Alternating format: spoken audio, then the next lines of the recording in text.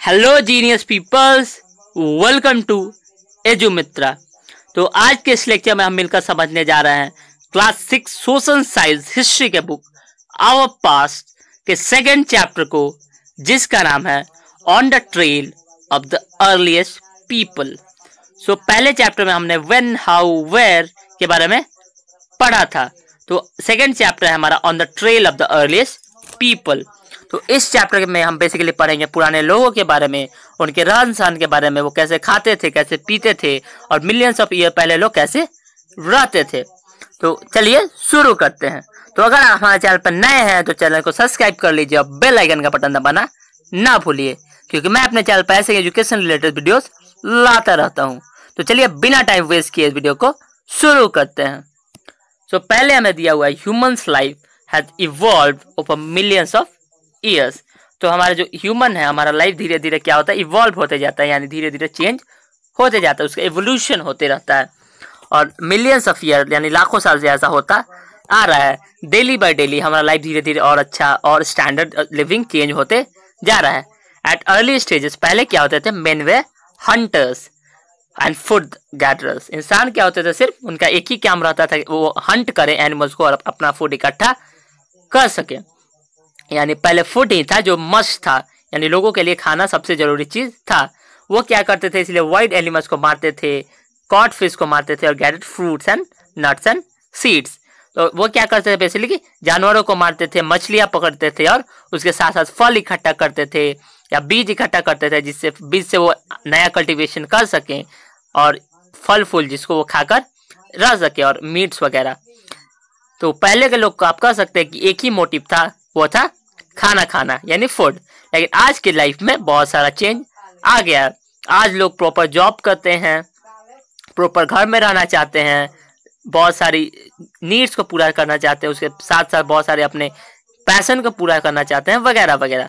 लेकिन एक बात आप कह सकते हो कि फ़ूड आज भी सबका मस्ट हो गया है।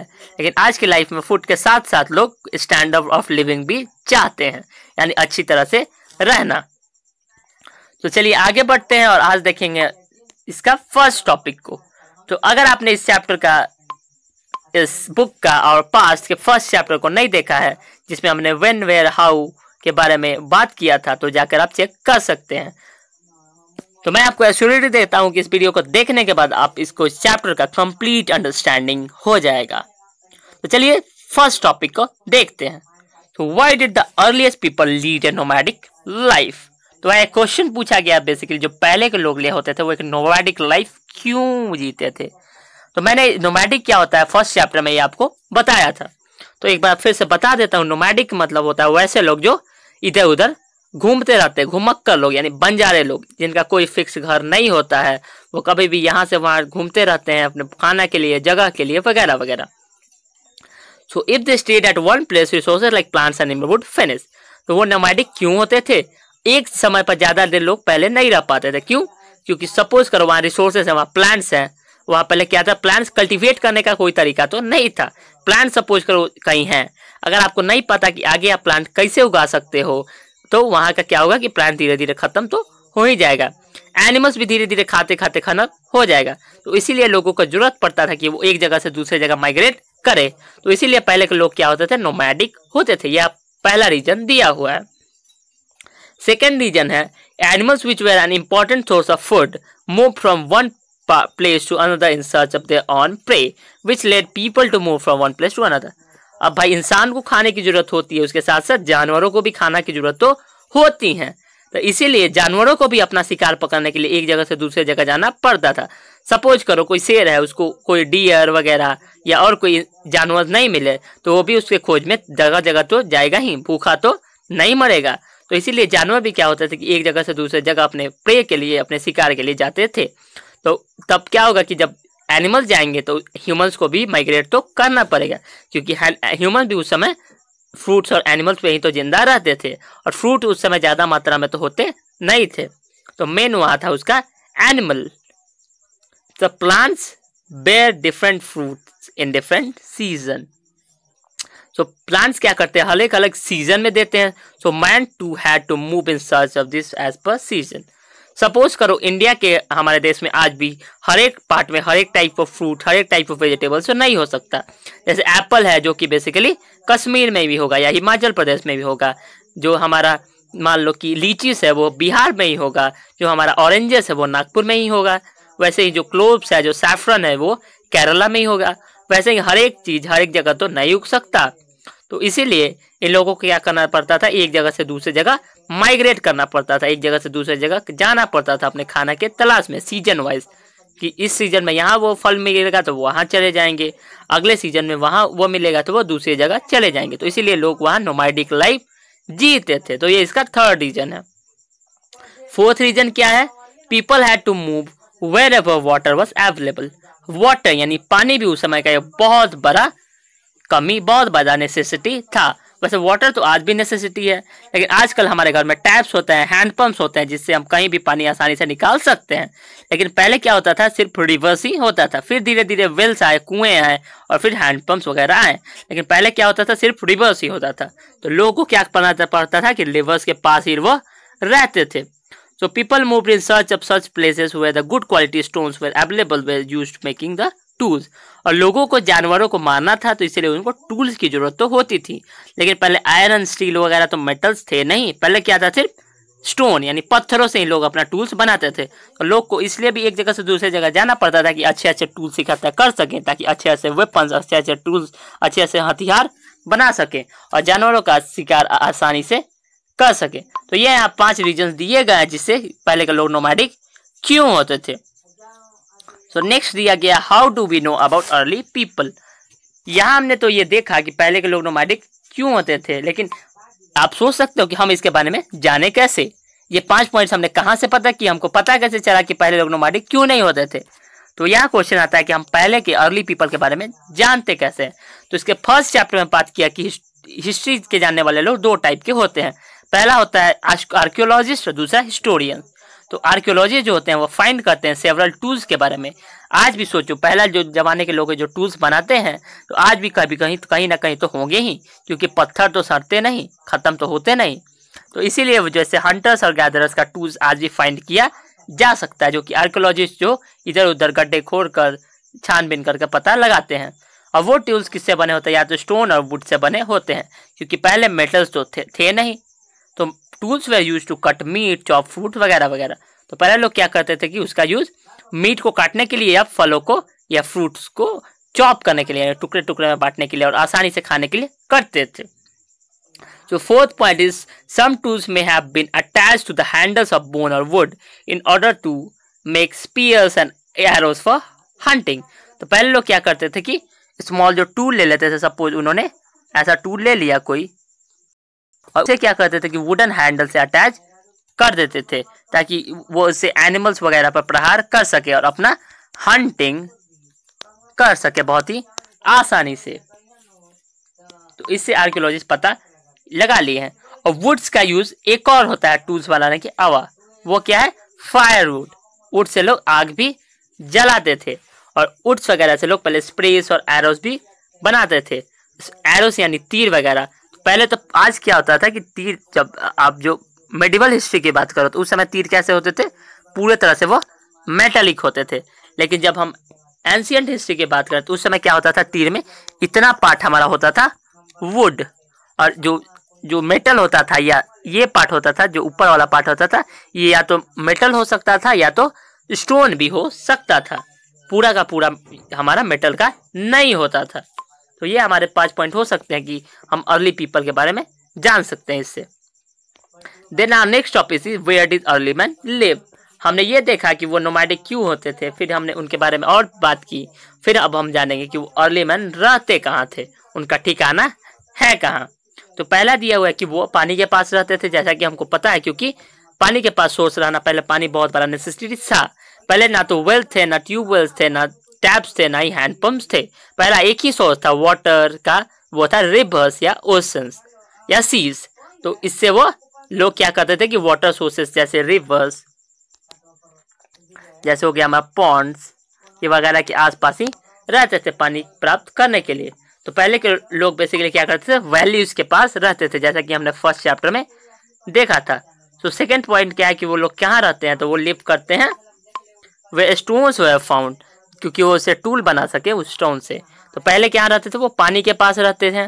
दूसरा, वो नेसेसिटी में क्या देखते हैं? स्टोन्स यानी पत्थर जहाँ ज़्यादा हो, क्योंकि उन्हें टूल्स बताने में आसानी हो पाए। और क्या वो? The place was called factory site और उस जगह जहाँ बहुत ज़्यादा पत्थर हो, उससे वो यूजफुल मटेरियल यूजफुल टूल्स बना सके, जिससे वो हंटिंग कर सके। तो वो प्लेस को क्या बोलते हैं? फैक्ट्री साइट्स तो आज भी फैक्ट्री उस प्लेस पर कहते हैं, हम जहाँ कुछ का प्रोडक्शन होता है। तो पहले क्या प्रोडक्शन होता था? स्टोन से वो टूल्स बनाते थे। तो उनके लिए वही उनका फैक्ट्री साइट हो सकता है। तो factory sites were found near discarded blocks of stones, but it is also evident people live for a longer spell of time. तो पहले के लोग क्या होते थे कि बहुत ज़्यादा लंबे समय तक जीते थे। बहुत ज़्यादा लंबे जब तक वो जीवित रहते थे, ज़िंदा रहते थे। क्यों? क्योंकि पहले उतना ज़्यादा पॉल्यूशन नहीं होता था। उतना ज़्यादा गलत फ़ूड कंज्यूशन नहीं होता था। पहले लोग अल्कोहलिक नहीं होते थे। पहले लोग क्या करते थे कि बहुत ही नॉर्मल लाइफ व्यतीत करते थे। आज के लोग बेसिकली आप देख सकते हो सिक्सटी सेवेंटी उनका लाइफ स्पैन हो गया है, लेकिन पहले के लोग hundred one twenty one thirty और वन फिफ्टी साल तक भी जीवित रह सकते थे।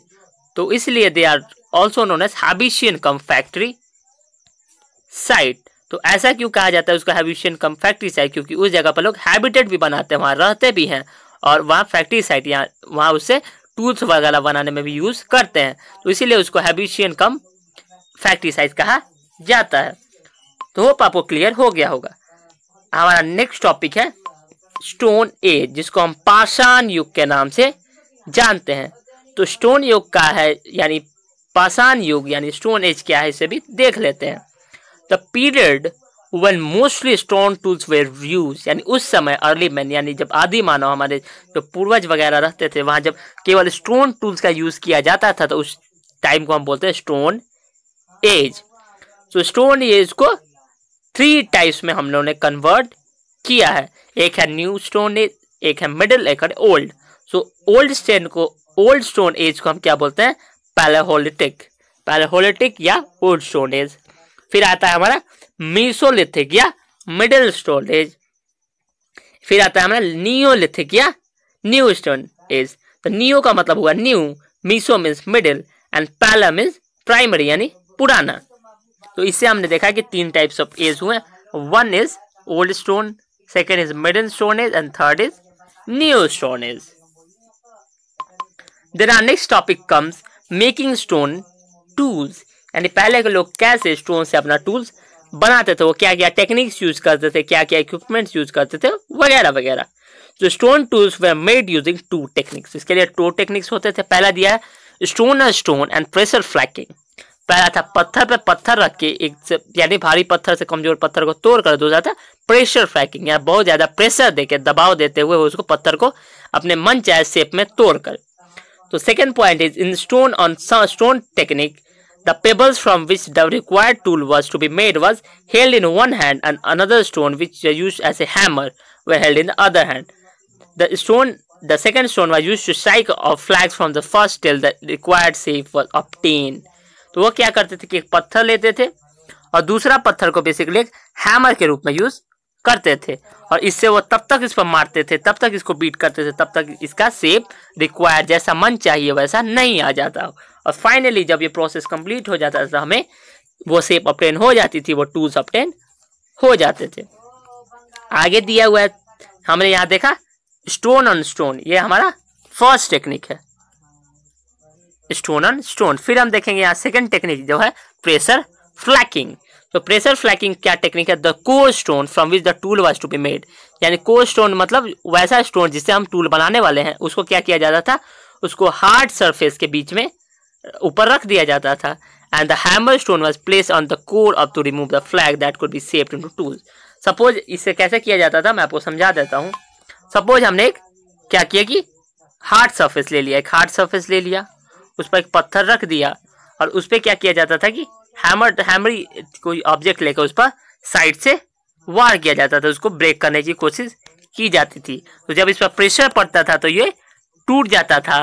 जिस डायरेक्शन में इस पर मारा जाए, इसको चोट दिया जाए, और ये मन चाह शेप में कन्वर्ट हो जाता था। यहाँ हमने बात की दो टेक्निक्स के बारे में जो मेथड्स के बारे में जिससे हम टूल्स बना सकते हैं।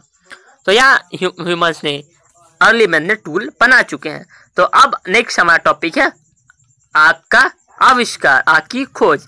यानी मैन ने कब आग का डिस्कवरी किया? तो इसे भी देख लेते हैं। तो मैन डिस्कवर्स फायर तो फायर क्या हुआ कि हमारे जीवन का, हमारे वर्ल्ड का सबसे बड़े डिस्कवरियों में से एक माना जाता है। तो ओवर द पीरियड उसी समय आदमी ने फायर का बहुत सारे यूज़ भी सीख लिए।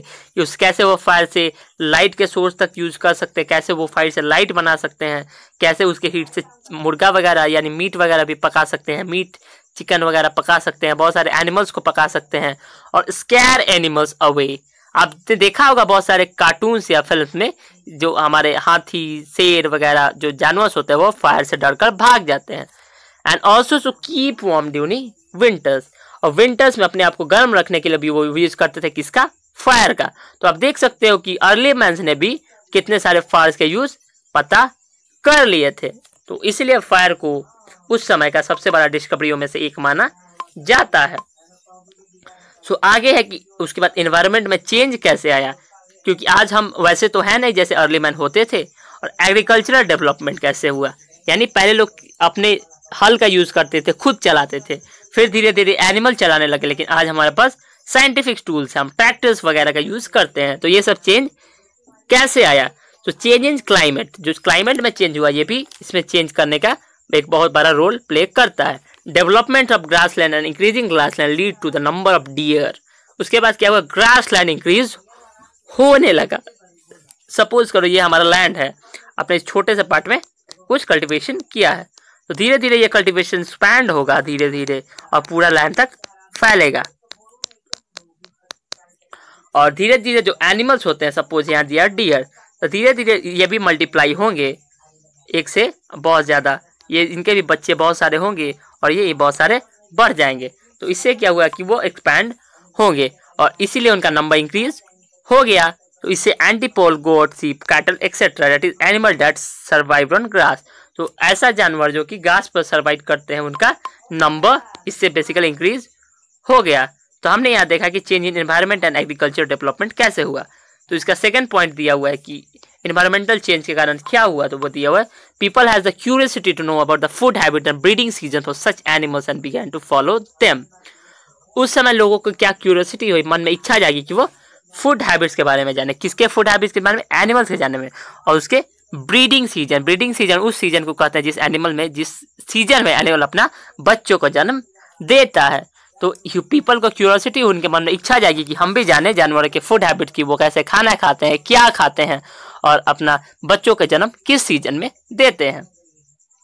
तो इसीलिए वो क्या करने लगे कि इसका पीछा करने लगे, उसके बारे में केस स्टडी उसके बारे में पढ़ाई करने लगे। तो इससे क्या हुआ this help people to think about the herding and rearing of such animals अब इंसान क्या हो चुका था कि जानवर के फ़ूड हैबिट की वो क्या खाते हैं, कब बच्चे को जन्म देते ये जान चुके थे। तो इससे उनको क्या हुआ, फ़ायदा हुआ उस जानवर को पालने पोसने में और उसे इकोनॉमिकल एक्टिविटीज़ में यूज़ करने में। और इसी से क्या बना? फिशिंग एक बहुत बड़ा मेजर एक्टिविटी बना उस समय का। लोग फिशिंग से भी अपना खाना ऑप्टेन कर पा रहे थे। And that grain bearing grasses including wheat barley and rice newly grew naturally और उस समय नेचुरल क्रॉप ग्रो हुआ जो थे वीट यानी गेहूँ बार्ले और राइस जो कि वह नेचुरली ग्रो कर पाया। तो इससे हमने देखा कि कैसे एनिमल्स का भी वृद्धि हुआ और एनिमल्स की क्वांटिटी भी इंक्रीज हुई और ग्रेन्स भी इंक्रीज हो पाए। सो so, आगे दिया these grains were collected by man women children तो इससे क्या हुआ कि जो ग्रेन्स हुए उसका और प्रोडक्शन बढ़ाया गया उसे मैन वुमेन और चिल्ड्रेन अपने आप कलेक्ट करने लगे and they learn the factors by which plants can be grown और इससे वो पता चला कि प्लांट्स का ग्रोथ कैसे हो सकता है हम प्लांट्स को कैसे ग्रोथ कर सकते हैं। तो health agriculture began to develop तो इससे क्या हुआ एग्रीकल्चर बढ़ने लगा। लोगों के मन में एग्रीकल्चर के प्रति थोड़ा प्रेम आया, वो सोचने लगे कि हम भी एग्रीकल्चर करते हैं।